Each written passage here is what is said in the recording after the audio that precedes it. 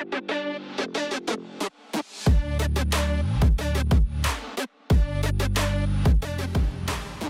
everyone and welcome to Arduino Day 2023. We are uh, in Torino and I have the pleasure to introduce you one of my favorite colleagues, the Pro Product Managers, Marta and Francesca. Hello. Hello everyone. So what I hear it has been how many products we launched together. And uh, talking about the, the many novelties we have in the Pro line for the professional targeted products, let's start with one of the most uh, interesting families because it kind of stay in between from professional but also makers, which is the Nicla family. And it's one of your products. So go ahead. Yeah, it is. So what comes to your mind when you see one of these? You go first. Mm, it is very, very small. yeah, and also it's packed with components that yeah. there's everything here. Yeah, look, look at them. So we have three Niclas at the moment. The Nicla Vision, that is the one that I have in my hands, with vision capabilities, really smart vision capabilities. We have a camera, we can see all the world around with this board. And then what else do we have? Here we have the Nicla Voice. Sorry, I, I needed to read because it's so small that I couldn't read it. Uh, Nicla Voice, Nicla Voice to hear the world around, so to hear people, to hear sounds, whatever you like. And last but not least, the Nicla Sense Me. And the Nicla Sense Me has been developed together with Bosch to sense the world. So we can sense temperature, we can sense pressure, we can sense whatever we need. So what's in common between all of them? They are small, first of all. They can be battery powered, so mm-hmm. you can actually place them wherever you like, wherever you like, and forget about them because they have a really long life, they are low power, and also they are connected, as most of our products. They are connected with Wi-Fi, Bluetooth, with the cloud, so mm-hmm. everything can be at your hands anytime you like. And they are edge devices, right? So they are capable of doing things right where the, the thing happens. Definitely, so. definitely. You can run also some machine learning models directly on them. You'll have them really able to uh, detect any kind of events and identify them. Mm-hmm. So they can be trained to yes, be exactly. self, basically independent and react. Exactly, exactly. And we, they interact with all of the product uh, we, we, do, right? Yes. In, in the Pro Business Line yes. and Arduino in general. Yeah, cool. the Arduino ecosystem is all connected. We have the same libraries for hmm. all the boards. So if you know how to use one board, you will for hmm. sure be able to use another one. Right. And you can also leverage the castellated pins I see they all have, right? Yes. Why is that? Yeah, they are there because you can, for instance, mount some headers, or you can do even do uh, assembly, automatic assembly lines with them, so you can assemble them automatically without any nice. of uh, being there. And yeah. I see a lot of things in here. So let's say I want to buy several thousands of those, those, but I don't need everything in there. Yeah, you can customize them depending on your need, of course. Cool. We are there to help any kind of request from customers. Good to know. So this brings us to, to the next big novelty we had in the last year, which is a groundbreaking innovation for, for a, a traditional industry, let's say, right? A very ancient industry. Tell us something about it. I saw your face.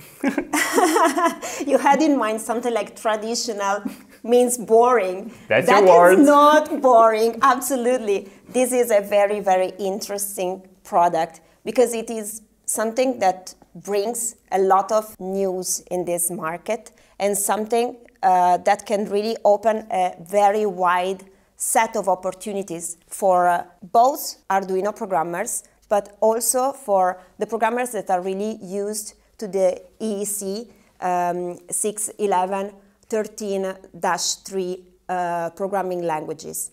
This product, first of all, is of course a product, product with an Arduino heart that is based on a, a very powerful brain because it is a, um, leveraging um, an STM32 microcontroller. So it is based, let's say, on our um, H7 platform, which is a very consolidated platform capable of uh, doing let's say, a lot of processing in terms of data. But on top of that, we have decided to create this micro PLC, which is um, a UL certified product, which means it is fully capable to work really in the industry, uh, complying with all the industrial standards, but uh, also leveraging everything to a higher level of connectivity and giving the possibility also to interact with cloud services thanks to its connectivity features. This means that we can offer three variants of it. Natively, even the basic one has the Ethernet on board, which also allows the possibility to go cloud. Uh, we have also an intermediate variant, which offers the possibility to run Modbus through the Modbus RTU, let's say terminal rack. And we have a third one, which also implements Wi-Fi and Bluetooth Low Energy radio. Wow. You so, can do everything with that. Tell us a little more about the traditional IEC 63 languages. So when you say we can use Arduino, but also Ladder and other languages like that, yes. what do you mean? I mean that uh, natively this product uh, comes out to the market, let's say uh, pre-licensed for our users so they can decide if to use all the five standard programming languages with Opta or the Arduino IDE, or let's say also both together because we can also enable, thanks to the shared variables, the possibility to merge an Arduino sketch together with the IC programming languages. Nice. Very interesting. So, so we will have a, a PLC IDE that is already available in that once you purchase it, right? A dedicated PLC IDE that works together with the Arduino ecosystem. Is that correct? We have it uh, already, let's say, for uh, our uh, Portenta machine control product. So the experience will be very, very similar, a bit customized, of course, mm -hmm. for the IOs that we expose for Opta. But this is the same type of experience that was, let's say, already uh, well evaluated by some of our uh, customers mm -hmm. of the Portenta machine control. The, the, type of experience is the very same, and we will give it uh, natively also on Opta. Nice. So, and we also chose a special partner to develop this product. Tell us something about it. yes, exactly. You can see also their name here on our product.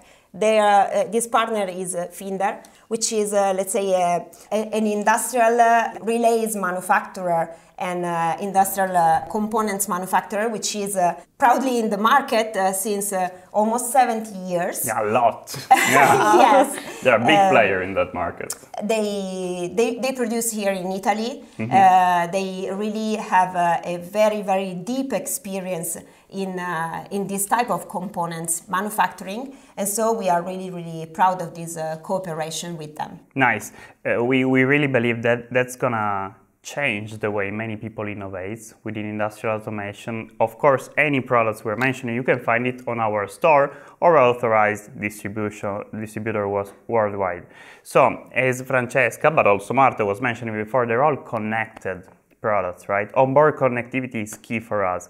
And everything goes to some other service we have which is the cloud, right? The Arduino IoT cloud, also yeah. for professional. Exactly. Tell us something about yes, it, please. Yes, we just deliver in the market the Arduino Cloud for Business for all our professional customers. And what does this cloud provide? Well, it's the same really easy and user-friendly experience that we have already with our Arduino Cloud that everyone already knows, but uh, with some advanced features for professional market. So we integrate a really great device management there, so you can manage all your devices also from remote.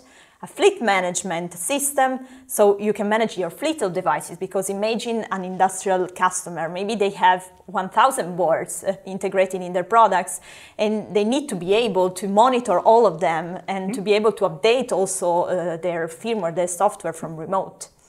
And last but not least, what we provide is also the role-based access control. And what does this mm. mean? It means that all your team can have access to your cloud, can check dashboards, can customize widgets, but each member has a specific role. You can mm-hmm. customize what they are actually capable of doing because maybe you don't want your customers to change your code or right. you don't want your customers to, I don't know, update some widgets because you want to provide the best experience right. possible, no? So this is what we can provide with Arduino Cloud for Business. Interesting. And, and also, you mentioned the, the, the, possibility to remotely update the firmware. So over-the-air updates. We know that in B2B business, security is key. Yeah. What can you tell us about that? Yeah, we can do this over the air updates in a really secure way because we are actually leveraging the secure elements that we have embedded in all, on all our boards. So they have this secure element that can uh, collect all mm-hmm. uh, the different encryptions, they can collect the uh, security certificates. So we are for for sure um, able to update all their devices in a really secure way, and our, our customers are all really uh, satisfied with that. Okay, nice. So we talked about our solutions, our products, even the cloud. Let's talk about real world applications. So there are many customers already using our solutions worldwide, but let's think about something complicated. Industrial automation, right? What, what pops to your mind if I say robot? Robots. Well, everybody loves robots. Right? Yeah, they do. So imagine to have this Nicla Vision, so the really small board that we spoke about before, on the tip of a robot. What this Nicla Vision is able to do is able to detect the world around this robot, so also to detect the pieces, the goods that this robot needs to pick. Right, and so this is the eye of the robot, right? Exactly, mm-hmm. exactly the eye. An and intelligent it's also eye. intelligent and connected, right. also with Wi-Fi, Bluetooth, or cabling if you need it. Mm-hmm. And then what happens? What's the brain? Yeah, the brain can be, for instance, our Portenta X8, mm-hmm. because Portenta X8 with Linux can have a ROS container running. Okay. Yeah, and can control the full trajectory of the robot. So the Nicla Vision said, okay, this is the actual good you need to pick, and it speaks with Portenta X8 that control the robot and automate it so that the robot will actually pick the specific piece. Mm-hmm. And then all of that can be fully overseen from remote with our cloud. Nice. And we can see, for instance, the usage trends, we can see the production line, uh, how many goods are actually produced during that specific time slot, everything from remote. Wow, it sounds fascinating, but we make it simple. You can do it. It's not that complicated on a technical perspective, Definitely thanks to not. the ecosystem we, we have in place, right? Yeah.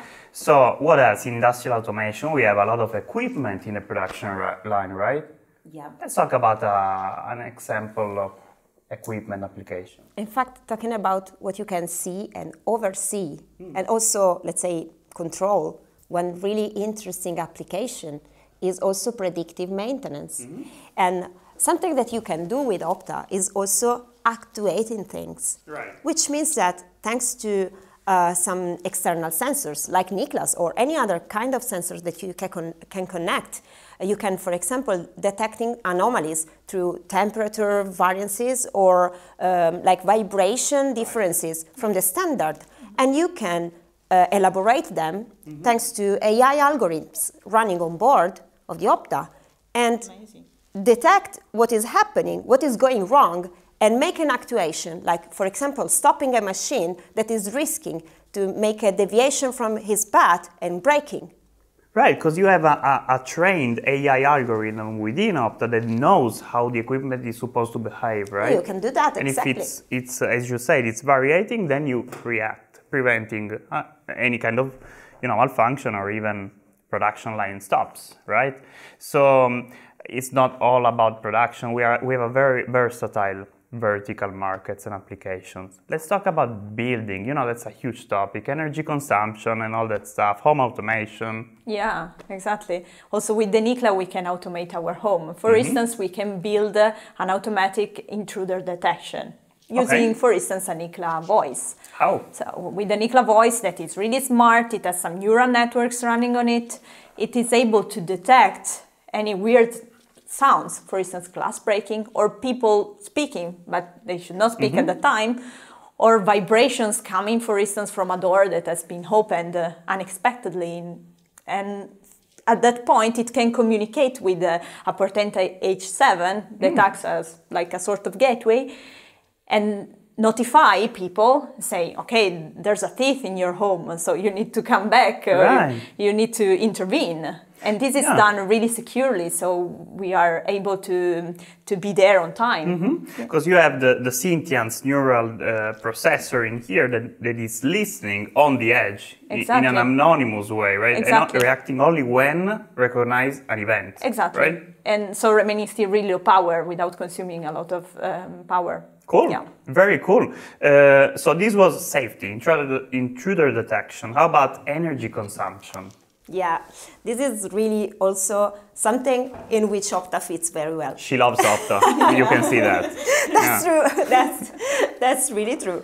I mean, Opta can, for example, interact with an energy meter, and let's say thanks to its connected, powerful features, we can, for example, think to uh, actuate remotely some electrical devices that can be connected to Opta, and uh, we can maybe also think about some, uh, let's say, uh, scheduled operation based on our consumption profiles that we can uh, collect thanks to what we can gather from this conjunction of devices that we can send to our cloud. So we can make some evaluation of how much we are consuming, in which way we can get our consumption path. We can decide when and how to operate our devices to save our energy and to save our money. Right. So we are we are environmental friendly. We save money, which is always nice, and we make our house smarter, right? Absolutely. It's very powerful, and I'm definitely want, eager to try that. Can you give me one in the near future?